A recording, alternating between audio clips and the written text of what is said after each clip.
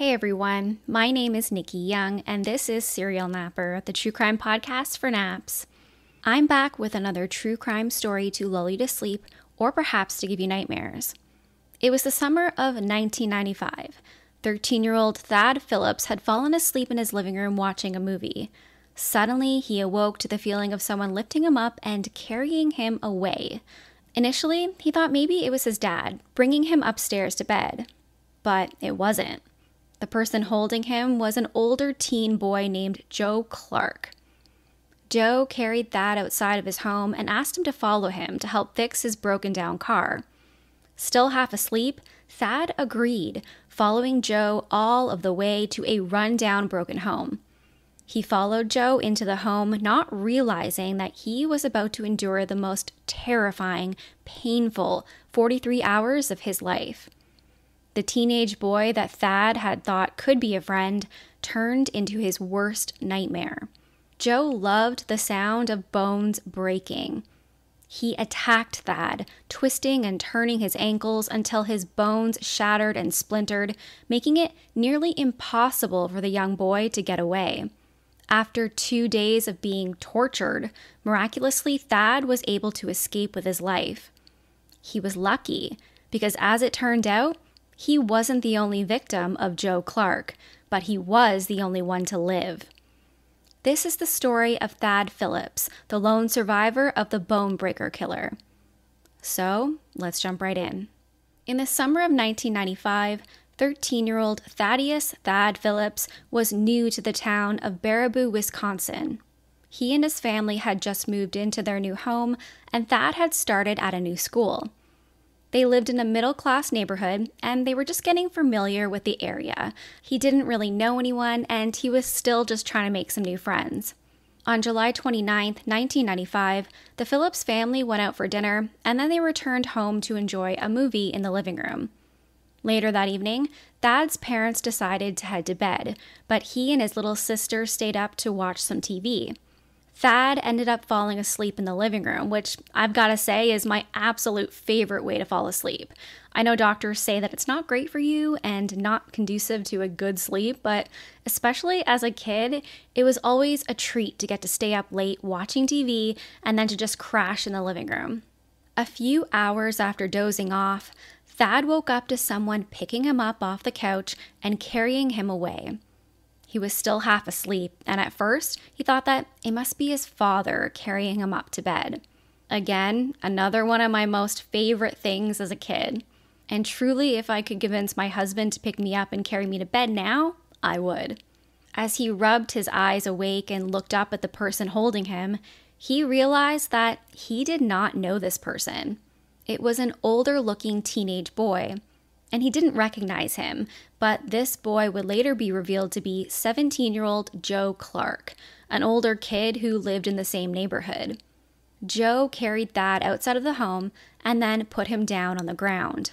He seemed friendly enough, and he asked if Thad could follow him to his car because he was having some troubles getting it started. Thad was still half asleep and completely disoriented.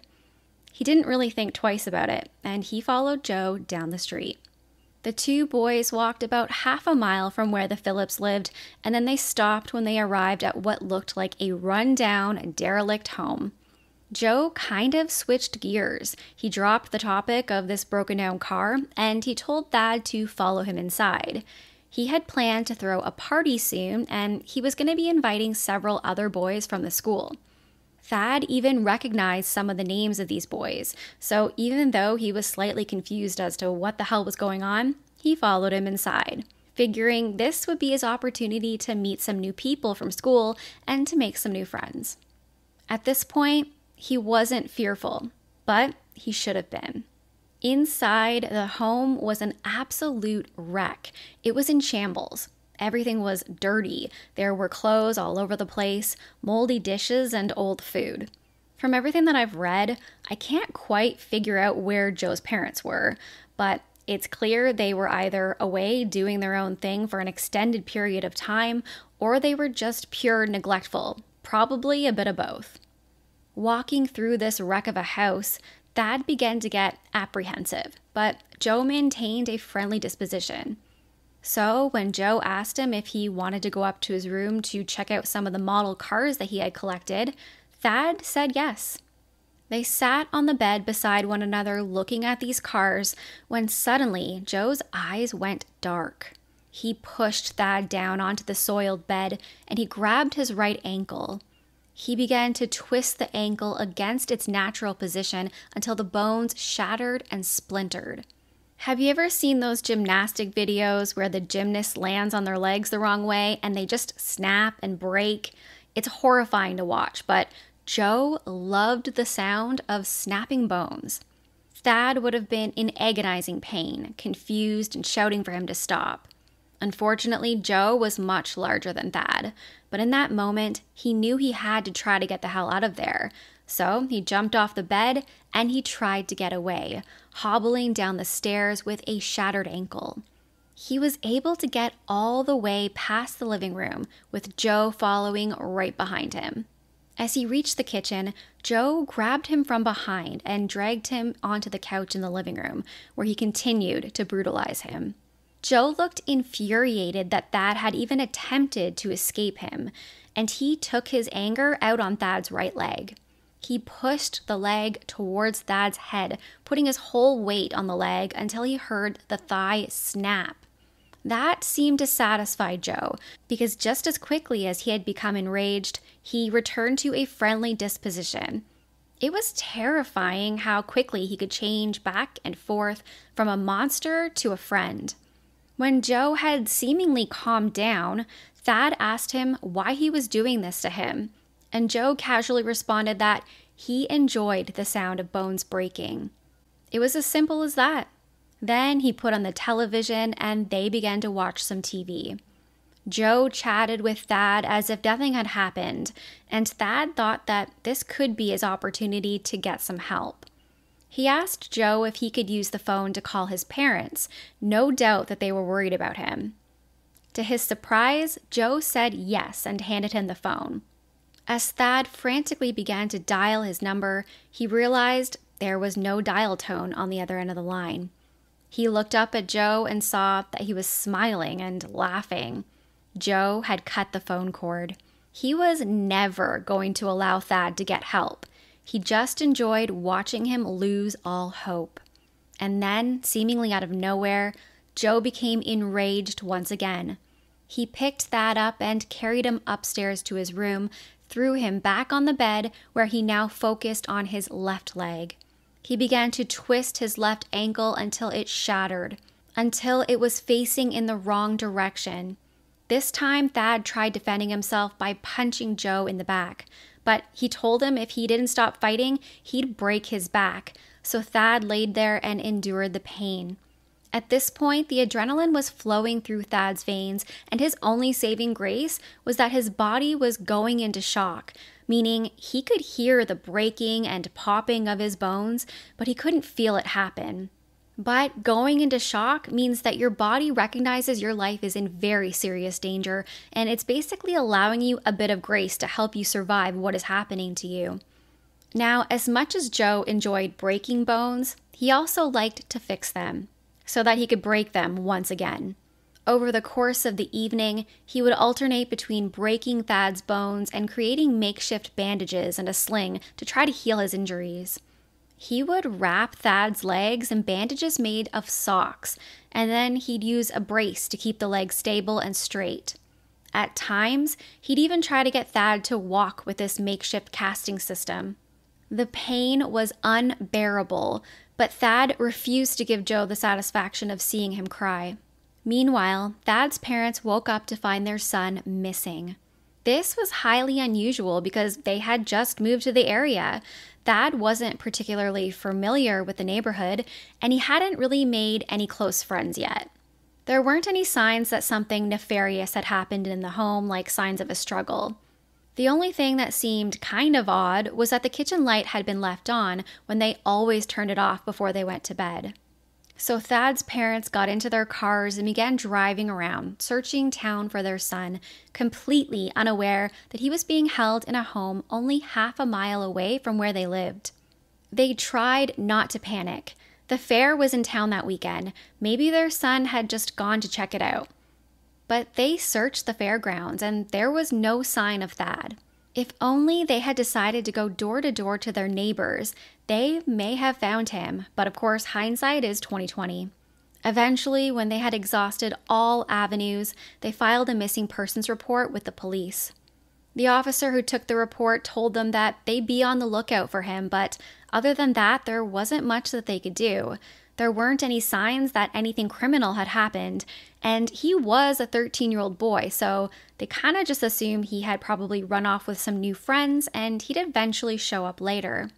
Back at Joe's house, Thad was lying on the bed with swollen, broken ankles and thighs. At times, Joe would move to the other parts of the house, and Thad would hear Joe talking to someone, but he couldn't hear anyone answering him back.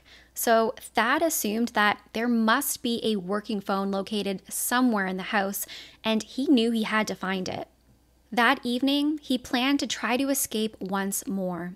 He heard Joe leave the house, get in his car, and drive away, so this was his chance.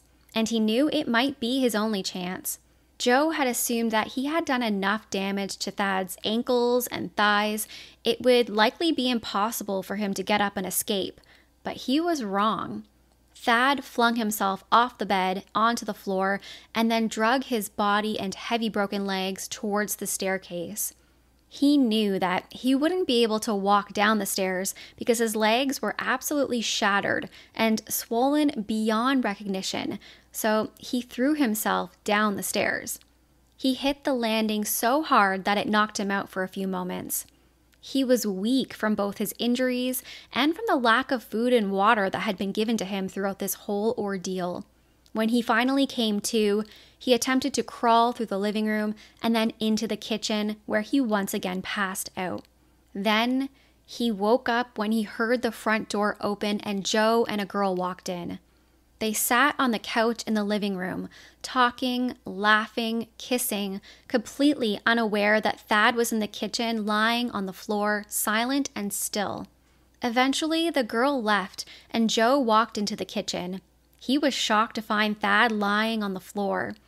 He once again picked Thad up and carried him back up the stairs, where he punished him for trying to escape by holding a pillow over his face. Joe punched him, kicked him, jumped on his chest, and once again twisted his ankles, compounding his older injuries. Then he carried Thad back down the stairs so that they could watch TV together, because that's completely normal. And once again, I've got to ask where the hell are Joe's parents this whole time? Not where they should be, keeping an eye on their sadistic son. Thad asked Joe if he had ever done this to anyone else, and he said he had, twice. One of the names he gave was some kid named Chris Steiner. Thad didn't know who Chris was, but he was shocked to hear that Joe had gotten away with it twice before. They both passed out on the couch, and I can't imagine the thoughts that must have been running through Thad's head. By the following morning, Thad had been missing for nearly two days. How long was this torture going to continue?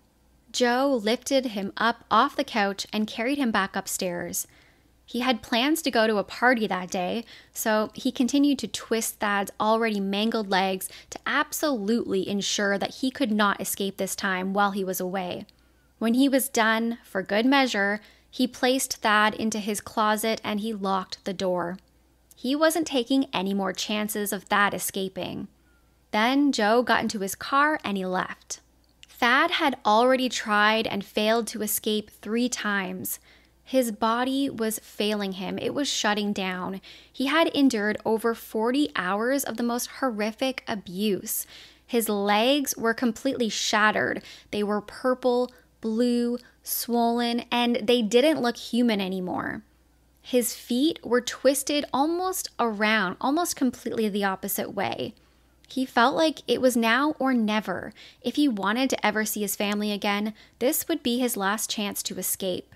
Thad took a look around the closet to find something that he could use to break down the door. There wasn't much in the musty, dirty closet, but he did find an old guitar. He grabbed it, and with every ounce of energy that he had left in his body, he slammed it down on the closet door until it gave way and opened. Then Thad dragged himself out of the bedroom, over to the stairs once again, and he threw himself down, the only way he was able to get downstairs. He crawled through the living room into the kitchen where there was a corded phone on the wall. He was able to grab the phone cord and pull the receiver down, and thank God it had a dial pad on the receiver. When he called 911, the operator who answered thought that it was a joke at first just because of how calm Thad was. He told them his name and that he had been kidnapped and was being held at Joe Clark's home. The local police were familiar with Joe, surprise, surprise. They had run ins with him in the past, so they knew exactly where to go. The police arrived at the home quickly and they found Thad lying on the kitchen floor, in and out of consciousness. They were shocked to see the condition of his body. His feet were nearly completely turned around, and his legs were twisted back in an unnatural position, basically twisted right out to the side. Thad was put into an ambulance and sent to the hospital. He was lucky to be alive because the doctors told him that he was just hours away from dying. Thad had been held for about 43 hours of pure torture. He sustained severe fractures to both of his legs, and he needed several surgeries over the years, but it was a miracle that he didn't have further damage, though he would walk with a permanent limp. After getting out of his surgery, Thad was able to tell the police about the other two people that Joe had admitted to hurting. He couldn't remember the name of the first kid, but the second he thought was Chris S. Chris S. Chris something that started with an S. He wasn't sure of the last name, but he had remembered that it did start with an S. That kid would turn out to be 14 year old Chris Steiner, but we'll get to him in a minute. The police would find and arrest Joe Clark while he was still at that party. He seemed completely unfazed when they showed up, and the first words out of his mouth were, Oh, he's still alive? They brought Joe into the police station while they searched his home, where they found a list of 29 names on three sheets of paper under the categories of get to know, can wait, and leg thing. Clearly, he was going to be targeting more people. Thad was not going to be his last victim. He denied trying to kill Thad Phillips, instead, saying that he just wanted to hang out. If Thad had sustained any injuries, well, he didn't know much about that because he had blacked out. How convenient. The police also wanted to investigate Joe's connection to Chris Steiner, a 14 year old local teen who had been found drowned in the river. It was July 14, 1994, about a year before Thad had been abducted. 14 year old Chris Steiner decided to go to bed early that night because he was going to be starting a new job in the morning. His parents checked in on him at around 10 p.m., and he was soundly asleep in his bed. But when they went to wake him the following morning at around 6:15 a.m., he wasn't in his room. Unlike in Thad's case, there was some evidence of foul play in Chris's disappearance. The screen window located in the ground floor bedroom had been slashed. This was Chris's older brother's room, but he just so happened to not be home that night. It looked like someone had slashed the screen and then climbed into the home. There were muddy footprints found outside of that window and then all inside the home, too. The ground floor patio doors were also discovered unlocked, but Chris's parents knew that they had locked it before they went to bed that night. Because Chris was a young teen boy, again, the initial assumption was that he had snuck out to go to a party or just to hang out with some friends, especially because it was July 4th weekend and there were a ton of celebrations happening. The police thought that he could have been another teen runaway, but Chris's parents knew that that wasn't true. He had just gotten his first job and he was really excited to start his shift that morning. Six days after he went missing, there would be a body found in the Wisconsin River draped over a tree branch. The body was bloated from being in the water so long and badly decomposed. However, dental records confirmed that it was the body of teenager Chris Steiner.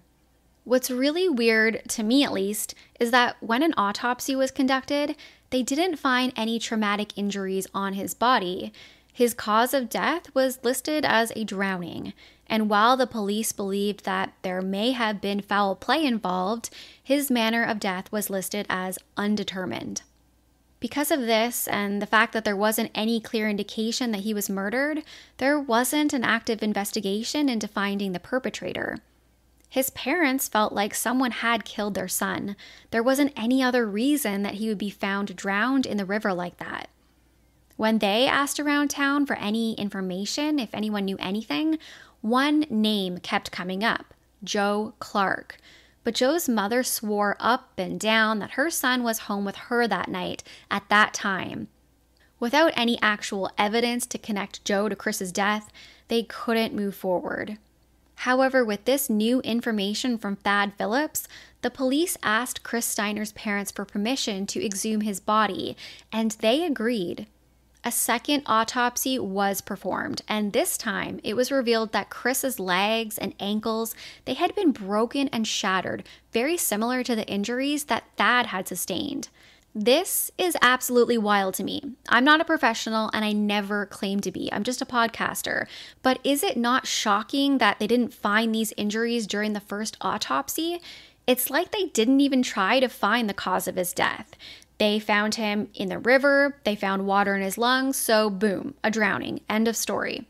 If they would have done a thorough examination and found these leg injuries the first time, they may have very well been able to save Thad Phillips from the torture that he had to endure.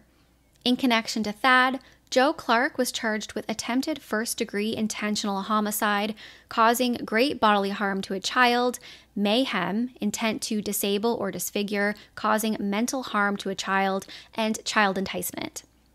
Joe pleaded no contest and not guilty due to mental disease. In court, his defense team painted him as a victim in his own right. He had been adopted as a child, but his biological mother abused drugs while she was pregnant with him. He also claimed to have suffered from a serious head injury that was sustained during a bike crash just the year prior. And we do know that studies show head injuries are much more prevalent in serial killers, which is what Joe would have been if Thad would have died.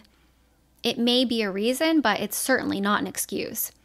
Disgustingly enough, Joe Clark's adoptive mother provided yet another false alibi for him, saying that she was home that night, that they both went to bed, and if he would have snuck out at any time, she would have heard him. Well, I doubt that because he was able to abduct and hold hostage a teen boy for over 40 hours, torturing him beyond belief, and she didn't have a clue because she was either right out to lunch or just not there at all.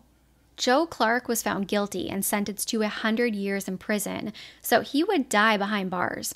Although it may seem redundant, the prosecution wanted to continue with prosecuting Joe Clark with the murder of Chris Steiner. His parents deserved justice for their son, too. Thad Phillips was going to testify in that trial when something awful happened to him. Just before the trial was scheduled to begin, a 15 year old who was friends with Joe Clark and lived next door to him shot Thad with a hunting rifle. As if he hadn't endured enough, the bullet hit Thad in the rear left shoulder. It traveled up his neck and it came out his ear. He was badly injured, hospitalized for days, but lucky enough to survive another attempt on his life. Thad was able to recover and testify in the trial against Joe Clark, where he was charged with first degree homicide, mayhem, and causing great bodily harm to a child. Again, he pleaded not guilty, but he was convicted and sentenced to life without the possibility of parole for 60 years. Joe has maintained his innocence and he even attempted to appeal his conviction, but each time he has been denied.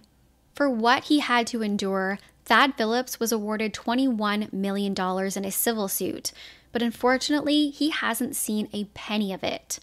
To this day, he lives with great pain and he walks with a limp. There is a GoFundMe set up in his name to help for his ongoing medical bills, and I will have the link to that in my show notes just in case you're interested in donating. Now, as you may recall earlier in tonight's story, Joe Clark claimed he had two other victims prior to abducting Thad Phillips. One was identified as Chris Steiner, but to this day, the other victim has never been identified, so we don't know who he killed, who he hurt. We just have no idea. But it's pretty clear that if Thad had not found the strength to get away, being the lone survivor of the Bonebreaker killer, there would have likely been more victims. He had a list of who he was going to target next. He would have been a terrifying serial killer. And so, for that, Thad is a badass and a hero.